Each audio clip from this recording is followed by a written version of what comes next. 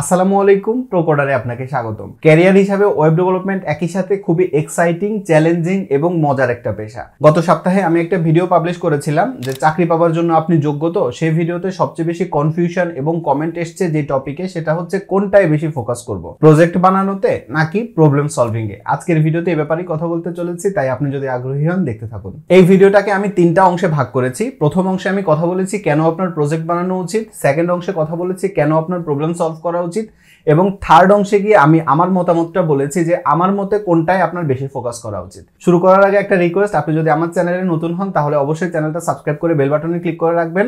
আর ভিডিওতে একটা লাইক দিয়ে রাখেন, তাহলে অ্যালগোরিদম বুঝবে ভিডিওটা হেল্পফুল এটা করতে কিন্তু কোনো টাকা পয়সা খরচ হয় না। প্রথমে আমি আপনাকে বলব, কেন প্রজেক্ট বানানোটা ইম্পর্টেন্ট আপনি যখন কোনো একটা স্কিল শিখবেন এবং সেই স্কিলের উপর আপনি যখন কোনো প্রজেক্ট বানাতে যাবেন, তখন আপনি দেখবেন কিছু কিছু জায়গায় আপনি আটকে গেছেন।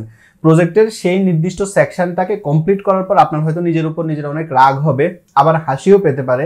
এত সিলি একটা সমস্যাকে কেন আমার সমাধান করতে এত বেশি সময় লাগল বা আমি কেন পারলাম না? এরকম সিচুয়েশনে অনেকবার আপনি পড়বেন এবং এই সিচুয়েশনগুলো ফেস করতে করতে একটা সময় গিয়ে দেখা যাবে যে আপনি যখন এই জাতীয় প্রবলেমগুলোতে পড়ছেন, আপনার কাছে এটা প্রবলেমই মনে হবে না। আপনি খুব সহজেই এই সমস্যাগুলোকে সমাধান করতে পারবেন। এই জায়গাগুলো প্রজেক্ট বানানোতে আপনাকে অনেক হেল্প করবে। এর বাইরে আমি সবসময় আপনাকে রিকমেন্ড করি আপনি কোয়ালিটিফুল প্রজেক্ট বানান। আপনি একটা কোয়ালিটিফুল প্রজেক্ট বানান, একটা কোয়ালিটিফুল প্রজেক্ট সবসময় পনেরো বিশটা গার্বেজ প্রজেক্টের চেয়ে ভালো।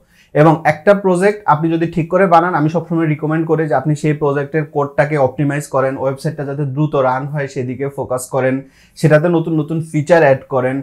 এই কাজগুলো করার পর একটা সময় যখন আপনার মনে হবে যে এই প্রজেক্টটা মোটামুটি রেডি বা এটা একটা কোয়ালিটিফুল প্রজেক্ট হয়েছে, তখন আপনি আরেকটা প্রজেক্টে হাত দেন এবং সেটাকে আপনি ইমপ্রুভ করার চেষ্টা করেন। আমি সবসময় এটাকে রিকমেন্ড করি।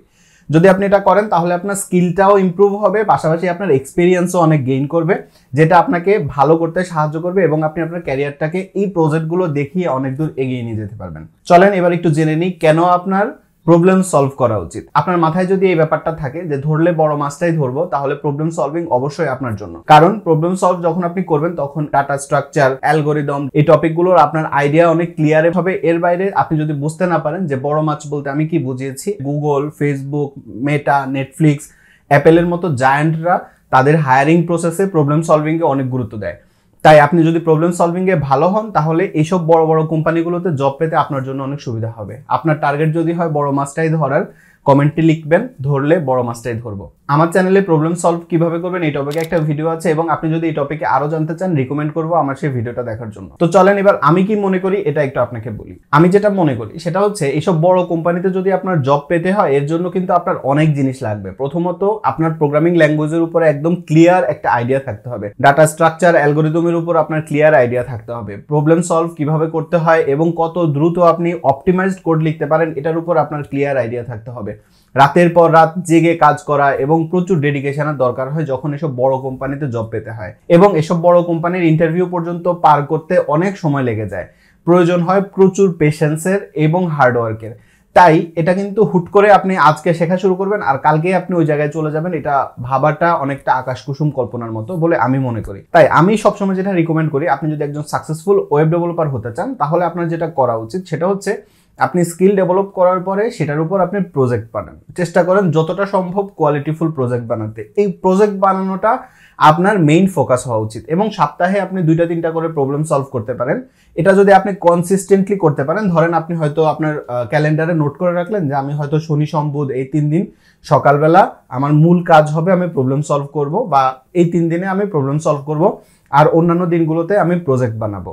এরকম আপনি যদি একটা কনসিস্টেন্ট ওয়েতে প্রবলেম সলভ এবং প্রজেক্ট বানানোতে আপনি কাজ করেন, তাহলে আপনার জন্য লাভ যেটা হবে সেটা হচ্ছে যে আমাদের দেশীয় যে কোনো কোম্পানিতে জব পাওয়ার ক্ষেত্রে আপনার যদি কোয়ালিটিফুল প্রজেক্ট হয়, আপনার জব পেতে অনেক সুবিধা হবে। আবার ফ্রিল্যান্সার হিসাবেও আপনার যদি প্রজেক্ট রেডি থাকে, আপনি সেটাকে ফ্রিল্যান্সিং ক্লায়েন্টকে যদি দেখান, আপনার কাজ পেতে সুবিধা হবে। বাইরের বিভিন্ন কোম্পানিগুলোতে যদি আপনি রিমোট জব করেন, তাদেরকেও আপনি যদি প্রজেক্টগুলো দেখান, আপনার কাজ পেতে অনেক সুবিধা হবে।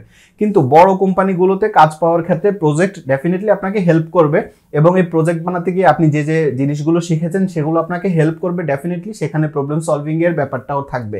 তো আপনি যখন আস্তে আস্তে নিজেকে রেডি করবেন বা আপনি যখন ফিল করবেন যে আমি এক্সপার্ট ততদিনে দেখা যাবে আপনার হয়তো দুই, তিনশো প্রবলেম সলভ হয়ে যাবে।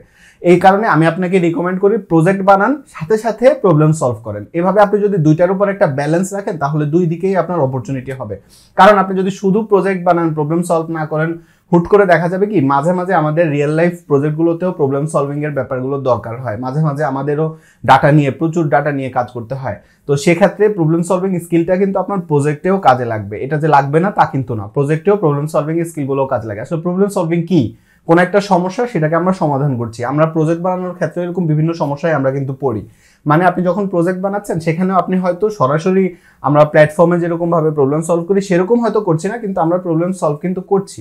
তো সে কারণে আমি আপনাকে রিকমেন্ড করব, আপনি প্রজেক্ট বানান, পাশে পাশে প্রবলেম সলভ করেন। যখন আপনি দুইটাকে একত্রে কন্টিনিউ করবেন তখন ক্যারিয়ারটা আপনার খুব দ্রুত এগিয়ে যাবে এবং আপনি যদি কোথাও জবও পেয়ে যান, আমি আপনাকে রিকমেন্ড করব আপনি পাশে পাশে প্রবলেম সলভ করবেন।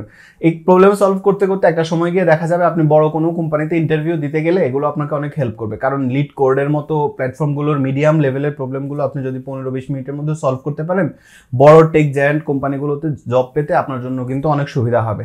তো এগুলো কিন্তু অনেক এক্সপিরিয়েন্সের দরকার হয়, অনেক স্কিলের দরকার হয়, অনেক হার্ডওয়ার্ক এবং ডেডিকেশনের দরকার হয়।